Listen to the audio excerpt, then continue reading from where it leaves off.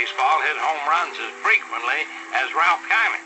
Now, many predicted that the Pittsburgh Pirates slugger would be capable of smashing Babe Ruth's single-season home run mark of 60. Ralph, did you ever think you could do it? It was uh, definitely a concern, and uh, there were many articles that were written about I was the heir apparent to break the 60 home runs of Babe Ruth. Uh, I never really got to that point. The best I ever did was 54 home runs, but uh, I wasn't uh, close enough at the end of the season to really make that a consideration.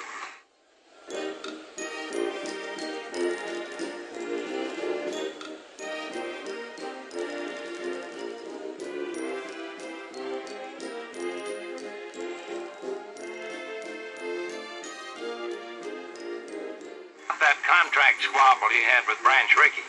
In 1952, I led the league in home runs, tied with Hank Sauer with 37 home runs. And uh, that year, Branch Rickey came in and took over the ball club. He had been with the Dodgers and, of course, prior to that, the St. Louis Ball Club. And he was not known for uh, paying baseball players any amount of money. So he sent me a contract that was uh, an offer of 25% less than I was making.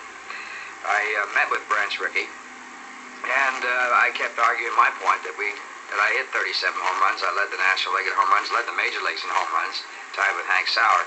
And Mr. Rickey finally said to me, he said, uh, where'd we finish? And I said, well, we finished last. He says, we can finish last without you. So that was the message right there. I signed, took my 25% cut, and went to spring training.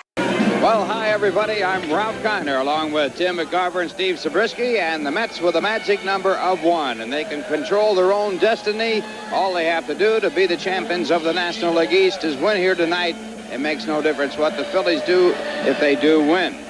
And I think that your wife, Ann McCarver, put it best. It's a lot like being pregnant, she said. you know it's going to come. The event will take place, but you're going to experience some pain with it.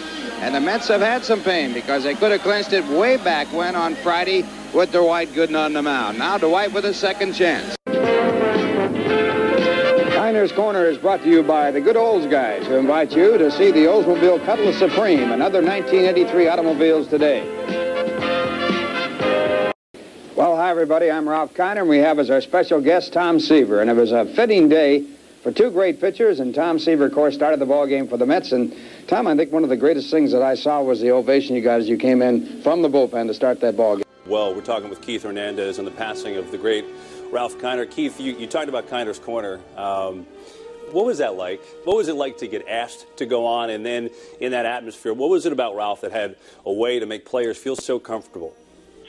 Well, Ralph was just uh, a character, and you know he was very sociable, and um, uh, it was a big deal going on in Kiner's Corner back in those days in the '70s, uh, which I can speak to. There wasn't a post-game show in a studio at a ballpark. There was this, it was the only one, and you figured, gosh, we're in New York, and this is a big deal. Even though when that was going on, the Mets were not doing so grand uh, in the mid to late 70s, it was a big deal to go on there. Plus, he always gave you that hundred dollar bill you're on the road, so you're always able to take the guys out for for dinner or, or for a few drinks.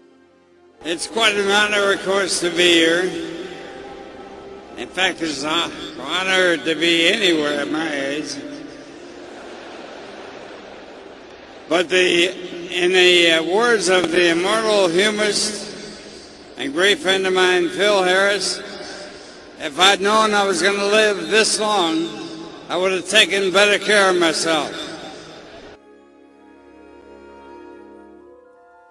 He was the type of player that uh, exerted baseball, and I think that's what uh, we all should appreciate having the chance to play a game uh, like baseball that uh, is such a superb game and tactical and what have you, if you understand it. And uh, I think the majority of people in the United States do understand it.